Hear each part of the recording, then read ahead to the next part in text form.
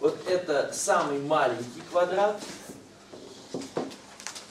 Э, и здесь э, вот у меня есть такой замечательный, замечательная такая картинка из квадратов. Все нарисованные, э, даже если они не очень похожи на квадраты, все равно я хотел нарисовать квадраты. А в книжке, разумеется, точная картинка. Там все они квадраты. Итак, здесь сторона равна единице, все стороны равны единице, требуется найти длину стороны самого большого квадрата. А, давайте ее обозначим.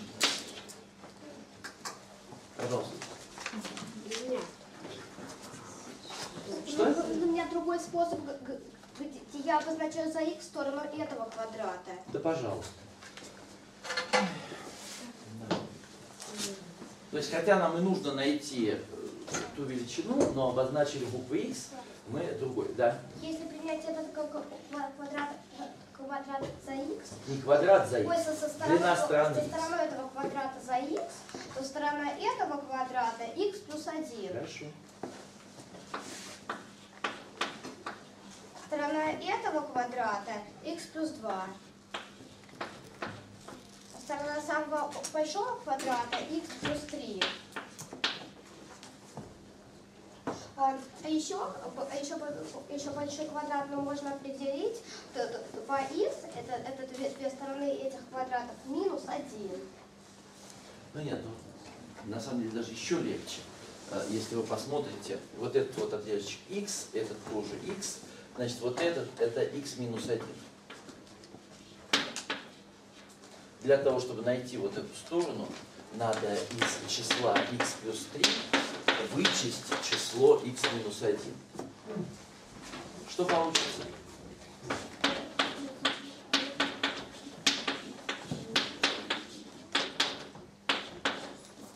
Сколько? 2x минус 1. Нет, не 2x. А, x минус x это 0. И и получается, э, э, со, со- со стороны этого квадрата 4, этого 5, этого 6, этого 7. Замечательно, спасибо. Значит, если вы хотите нарисовать в тетради точный чертеж, то должны сделать так. Э, Вот это 4, это 7, э, и, соответственно, это 6. Ну и дальше уже все легко считается. 5 э, и 4. И здесь, естественно, тоже 4. Так. Следующая задача нисколько не сложнее. Только там точные размеры не даны, а рассказывается о таком забавном эффекте. То есть, если составить из квадратов э, такую вот картинку, значит, взять какой-то достаточно большой квадрат, Дальше здесь нарисовать такой вот маленький.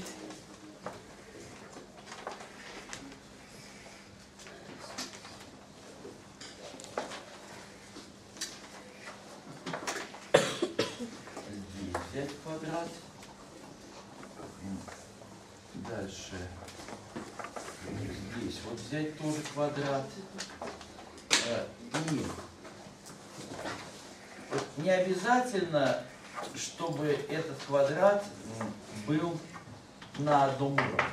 То есть, смотрите, в предыдущей задаче э, здесь была прямая линия. И поэтому все размеры однозначно удалось вычислить. А вот в этой задаче неизвестно, какое здесь расстояние. Но по-прежнему известен вот этот вот отрезок. Э, Это все квадраты. У внутреннего сторона равна единице. Требуется найти сторону такого квадрата. А у квадрата все стороны одинаковые. Поэтому какую несущественно. Более того, ответ мы уже знаем с предыдущей задачи. Какой ответ? 7. Нет, не 7. Пять. 4. Четыре. Вот она, как, э, вот картинка, здесь 4. Так что ответ мы знаем. Да?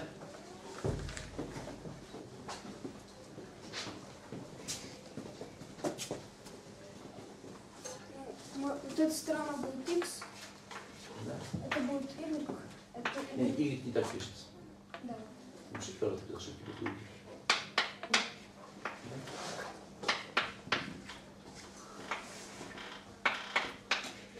Можно составить уравнение. Какое уравнение? Ну, э, y плюс 3 плюс 1 равно x плюс y. Ну хорошо. Если вы это называете уравнением, хорошо, давайте. давайте. Пишите.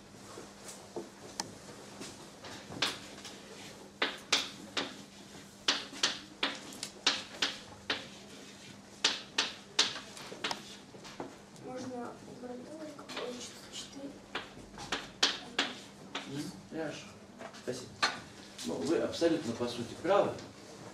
Если мы посмотрим на этот рисунок, э, то видим, что вот этот вот отрезок э, y минус 1. Разумеется, вычитая э, из y плюс 3 y минус 1,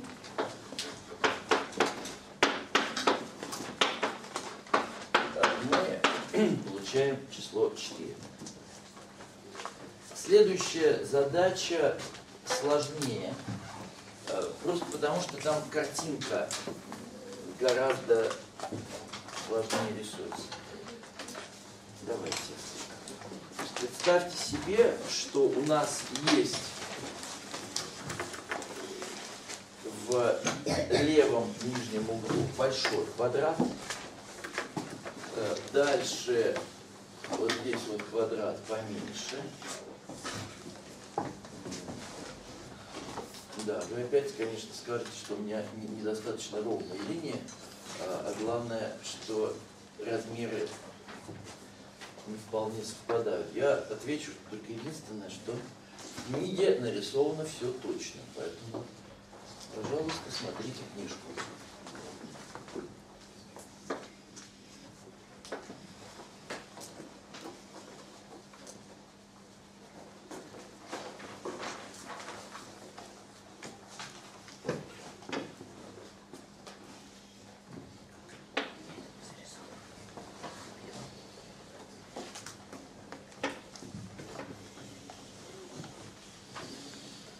Вот я действительно немножко, э, конечно, здесь вот напортачил, э, потому что это квадрат должен быть, и это должен быть квадрат.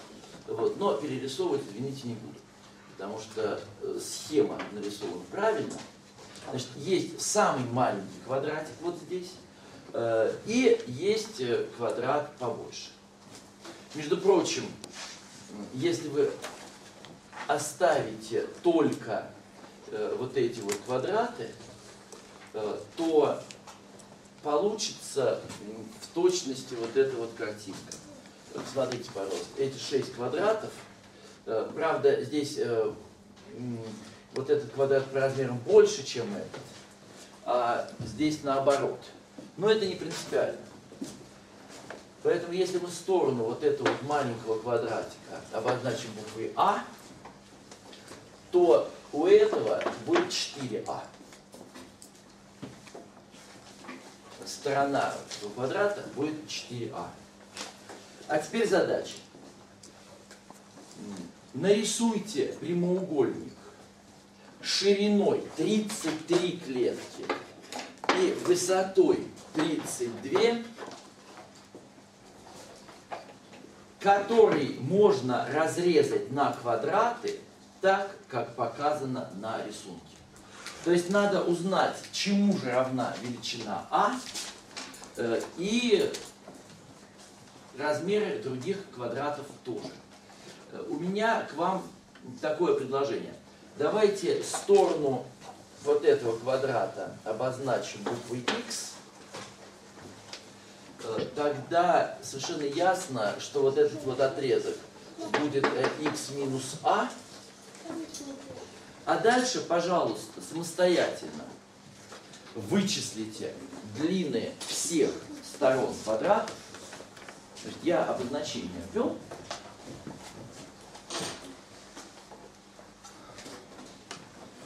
Вы должны через А и Х выразить длины сторон всех квадратов.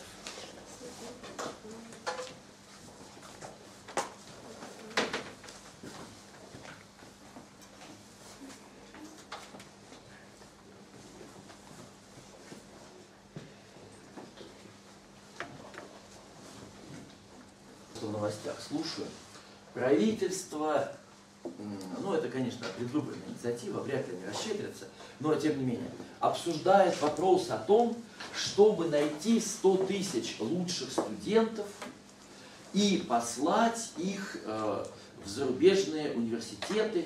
Они там научатся, приобретут высочайшую квалификацию и с западным опытом приедут сюда, модернизация, Сколково, э, жвачка,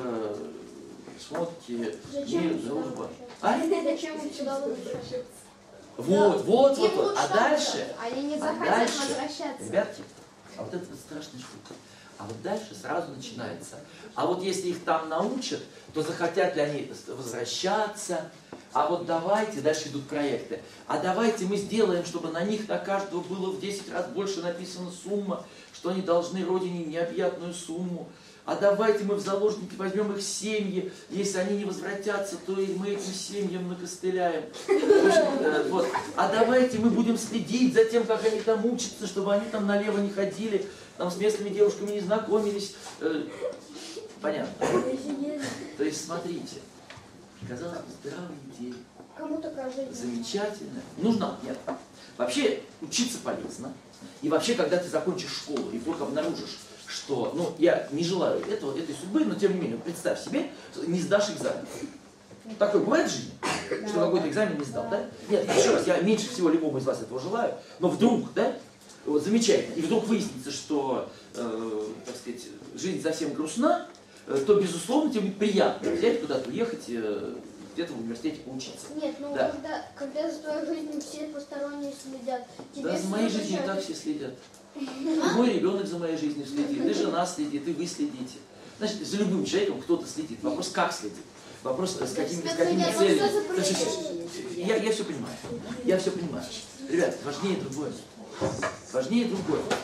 Я эти две вещи в сознании своем связал, и вдруг до меня дошло, что это абсолютно внятная история о том, почему при всех своих огромных нефтяных богатствах, при всем том, что у нас на самом деле много очень даже не глупых ребят, на самом деле вы здесь вот пришли, да, ну я, конечно, поругался на то, что они там ручку не поделили, но это же все не самое главное. Да? Ребята на самом деле хорошие, э, они когда-нибудь научатся свою ручку делить. Вот. Понимаете, ребята, при всем этом мы чудовищным образом отстаем от Запада. Да. И в, отстаем в чем? Так вот, на этой истории видно в чем. Видно, что на самом деле нам нужно, нашей стране, для того, чтобы из позиции вечно догоняющего, из позиции, когда, ах, он увидел западные штаны, все, да? Все, человек просто вот, э, так сказать, тает, ах, его пустили посмотреть на Кембридж, значит, он там останется навсегда и в Москву никогда не вернется. Так вот, чтобы из таких людей превратиться в людей с достоинством, на самом деле не хватает одной штуки. Я вдруг вспомнил одну историю про то, как были устроены университеты в Германии. Э, Примерно сто лет назад Германия была абсолютным лидером в производстве, в технике. Между прочим, и сейчас, если вам нужно купить посудомоечную машину или автомобиль, то полезно покупать э, немецкое или итальянское немецкая и итальянская техника, итальянская, потому что она практически такая, немецкая, они просто очень сотрудничали много, вот, а, просто потому что там уровень инженерной мысли действительно фантастически высокий. Так вот, смотрите, да, кстати, у меня еще в жизни была такая история, Э, примерно 80-й год, я тогда был школьником, э, меня послали на экскурсию, не, не послали, а в школу повезли на экскурсию на станкостроительный завод. Идем по заводу, посмотрели налево, посмотрели направо, тут стоит один станок, тут стоит другой станок. Э, Нам рассказывают, вот какие-то замечательные станки, на них делают такую и так далее, и так далее, и так далее. И вдруг мы заметили, что какие-то они уж очень такие вот э, какие черные, чугунные, Вот. И на них по-немецки написано. Мы спрашиваем, а почему? Внимание, какой год? 80 1680 год. Как почему? Это же немецкие станки. Они были вывезены в Советский Союз по трофеям из Германии. Понимание, в каком году они были вывезены? В 45 До этого наверняка они еще лет 10, а может 20 проработали в Германии. То есть это немецкий станок. Извините, 1920 какого-то года выпуска. Доработал до 1980-го. И я тогда, будучи ребенком, задал вопрос с курсовода. Э, ну, это был человек с этого предприятия. Скажите, пожалуйста, а почему? Ну, вроде ему, получается, больше 60 лет этому станку, или 60 примерно, да? А почему бы его не заменить? Сейчас же, наверное, есть какие-то а нет, такой точности наша техника не обеспечивает. Понятно, да? То есть немецкий станок более чем 50-летней давности при всей своей работает и работает точнее. Эта история мне запомнилась, э, очень хорошо запомнилась. Могут довели. Я, я не знаю, что сейчас. Я не знаю, сейчас эти станки работают или нет. А, да. То есть люди в 80-м году не могли, э, русские не могли... Наши инженеры Да. не могли повторить, да. То, Да. что придумала, было всего лишь э, д- Ну, давно-давно, да, да, 23 да, да, да, да. Не могли. Это разные инженерные школы. Да. Это принципиально разные инженерные школы. Вот, а теперь вопрос, а почему так? Из-за чего? Потому что все умные люди переезжают. Неправда, неправда. Легче было Неправда. сделать. Нужно просто было его разобрать, посмотреть э, и сделать копию. Разобрать, посмотреть. Это проблема об- общей культуры. Да. Может, лень? Нет. Я вам отвечу. Думать не хотят. Я вам отвечу. Я вам отвечу. Э, Я что-то знаю ответ. Причем, еще раз, ребята, проблема не в том, что там как нация, мы какие-то там. а Вот. Проблема в привычках. Проблема в том, как устроена общественная жизнь. Каждый из нас может стараться очень много. Каждый из нас может, так сказать, быть самым замечательным человеком. И поверьте, много. И у меня много замечательных людей. То есть я не пытаюсь никого конкретно. Я просто рассказываю вам историю. У нас, смотрите, что делает правительство. Хочет выделить денег на 100 тысяч студентов, чтобы они съездили на один год, получились назад. Так? Да. Так. Ну понятно, что денег может не хватить, может быть студентов будет не 100 тысяч, а 10 тысяч, а может быть, если экономический кризис, то и тысяча, и так далее, и так далее. То есть вопрос, сколько денег смогут на это отдать.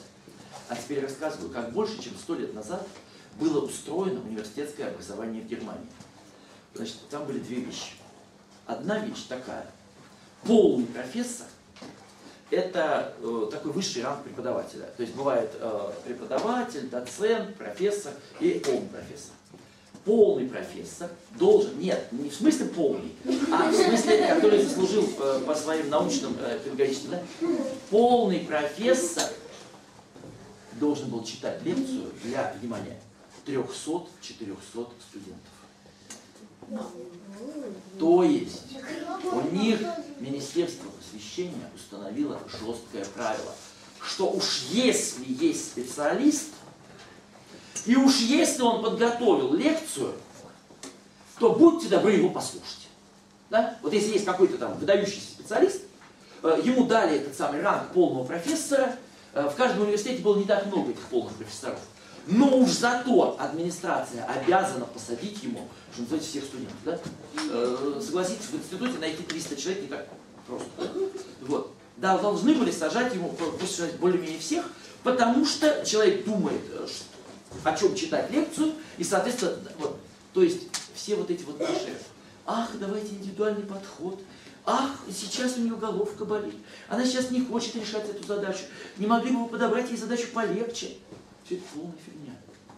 У тебя есть задача, решай. Болеешь, пожалуйста, иди в больницу, болей. Возвращаешься, решай ту же самую задачу. Было нормальное, жесткое отношение к людям.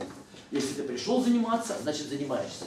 Если профессор подготовил лекцию, значит ее должны слушать э, в большом количестве. Но это не главное. И более того, введение такого правила в нашей стране ничего бы не дало.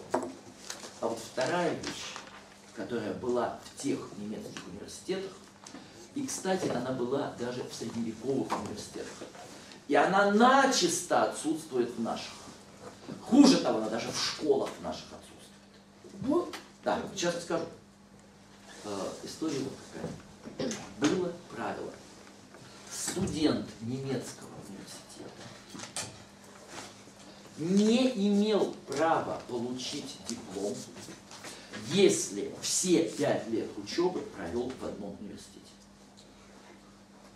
Простое административное правило. Если ты поступил, например, в Московский университет, и ты там учишься, учишься, учишься, то даже если ты там все курсы прошел, тебе диплом все равно не дают. Обязан хотя бы на какой-то срок перенестись в другой университет. Казалось бы, идиотская. Это что? Они боятся, что он просто дал взятку, поэтому Да. его? Нет. Во-первых, вопрос, вопрос во взяток там в принципе не было. Вот, это же, все эти взятки появляются из-за того, что во всех остальных областях жизни взятки на взятки. Образование наименее, так сказать, наименее разумная сфера для, для дачи взяток. Вот, и да, если это ее проникает, то только потому, что в остальных местах уже заражено этим. Нет, разговор не о том. История гораздо проще и гораздо важнее. Значит, смотрите, к чему приводило это жесткое правило. Очень простую вещь. Что если где-то есть, представьте себе, хороший преподаватель, студент у него учился, он переезжает в другой город, в другой университет, скажем, на один семестр, то обязательно он об этом расскажет там. Он придет на лекцию к другому преподавателю. И обязательно не удержится молодой человек от того, чтобы сказать, ох ты, ну что здесь за ерунда, вот я помню там, мне такое рассказывали. И наоборот, если в его вузе, где он начал учиться, что-то было плохо, то он в другое место приезжает и вдруг видит, что это не наука была плохая, а просто ему не повезло, и он у какого-то идиота учился. Понимаете? Нет, вообще преподаватели все разные. И вообще-то кто-то лучше, кто-то хуже. Это ну, просто там, любой человек что-то умеет лучше, что-то умеет хуже. Это приводило к огромному обмену людьми. И это приводило к тому, что не могло быть, как у нас считается, что вот у нас есть настоящие университеты, а есть университеты, которые просто так диплом выписывают. В Германии не было этих самых, которые просто так выписывают диплом. Потому что сейчас, когда вуз, э, что называется, в себе, э, человек может поступить, э, скажем, даже что может, человек поступает в Московский университет, распределяется на кафедру, у него появляется научный руководитель, и он дальше общается только с этой своей кафедрой, а на самом деле только с этим своим научным руководителем. То есть, э, что называется, вертикаль власти, она у нас не только в политике, она и в вузах тоже, да? И это страшно удобно этим научным руководителям, проще говоря, всем преподавателям. Потому что тебя никто не никогда не сравнит. Потому что твой студент, он твой по жизни. Вот тебе его дали на втором курсе, и когда он защитит кандидатскую диссертацию, э, он уже будет, э, в общем, старенький, э, и особо сравнивать ему будет уже не с кем. Вот. И, и из-за этого разница уровня. Между прочим, в остальных областях жизни то же самое. В нашей стране все время есть желание сломать конкуренцию, все время есть желание сделать, чтобы э, даже в тех же математических школах, вот вам через некоторое время э, поступать мини- там, в хорошие школы, в разные, да, в огромном количестве школ вы туда приходите и слышите. Здравствуйте, вы поступили в лучшую школу лучшего города, лучшей страны, лучшей планеты, лучшей звездной системы. Бросьте любое внешнее общение, бросьте читать книги, бросьте ходить на любые внешние кружки, бросьте ездить на, на Олимпиады, мы вас всему научим. Ребят, у этого есть очень грустный э, результат. Вот в Москве есть такая 57-я школа, которая очень много лет собирала к себе лучших учеников. Там был завуч, который абсолютно был убежден, что, что это было, он сейчас там есть, абсолютно убежден, что вот моя школа, это лучшее место на земле, у меня должны работать лучшие преподаватели и так далее. И рассказывать, что было дальше. В большинстве случаев, когда школьники туда поступали, вдруг выяснялось, что им, конечно, очень сильно льстят, конечно, создают хороший класс там, из 20-25 человек, все замечательно. Только к концу школы один-два из этого класса на высоком уровне, а все остальные молча умеют.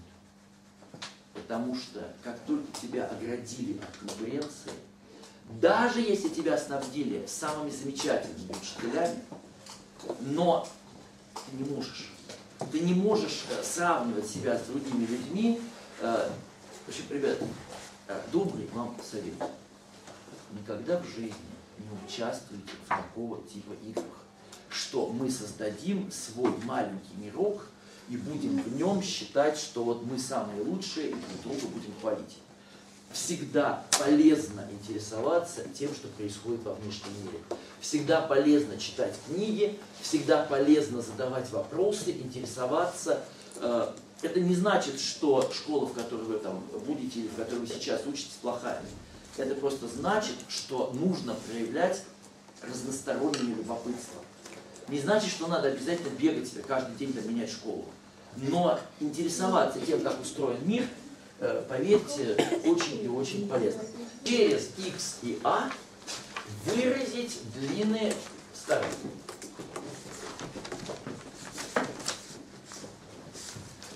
Эта сторона будет x плюс а.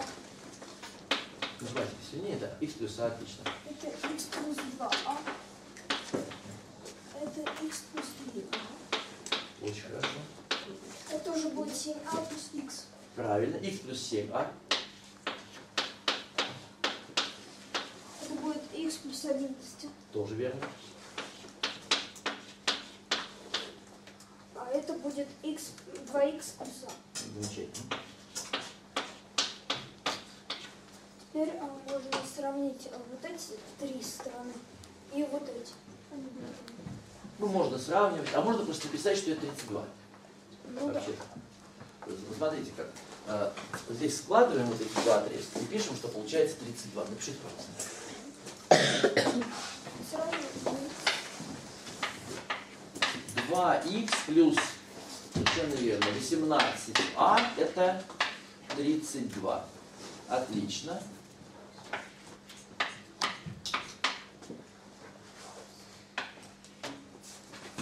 четыре. 4х плюс 4а это тоже 32. Отлично. Ну я бы поделил первое уравнение на 2, а второе на 4. Давайте. Тогда станет попроще. Первое уравнение разделите, пожалуйста, на двойку. Обе части. x плюс 9а равняется 16. x плюс а это 8. Отлично. Ну и теперь, наверное, надо вычесть из первого уравнения второе. Что у нас будет? Нет, нет, x исчезнет. да, x исчезнет 8а равно 8. Отлично, вот так пишите. 8а равно 8. Значит, а это сколько? А равно там. Правильно. Ну и теперь подставьте вот в это уравнение x плюс а равно 8, подставьте величину а равно единице. Чему равно x? x равен 7. Пишите.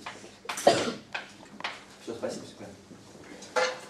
Зная величины x и a, мы легко найдем э, вот эту величину. Значит, э, 7 плюс 7 э, это, конечно же, 14. э, 7 плюс 11 это 18. Ну и все остальные размеры э, легко вычисляются. Э, 7 плюс 3 э, это у нас 10. Э, Здесь, э, естественно, 4. Э, Здесь э, 6. Так, 2х. Сколько будет 2х? На 14 плюс а. Здесь 15. Ребят, пожалуйста, по клеточкам ну, обязательно прямо сейчас в тетради нарисуйте. Я все размеры вам задал. Э, Это займет примерно страницу. Нет, не больше. Примерно страницу. Вот. Да, да, да. Пожалуйста, нарисуйте себе эту картину. Ну, у кого совсем плохо с клетчатой бумагой, можете, конечно, не рисовать, но лучше нарисуйте. Э, Получите удовольствие. Вот, потому что э, картинка действительно красивая. Так, а вы это считали, чтобы 10-30 тебе хватило? Надо в двух направлениях, у вас клетчатая. Да, все, давайте.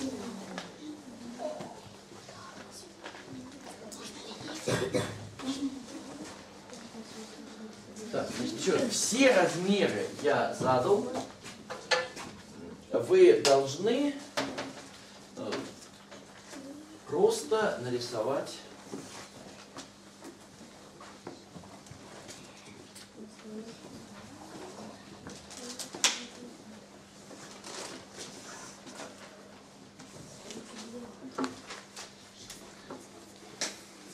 квадрат, э, квадрат со стороной 7, да. Это единица.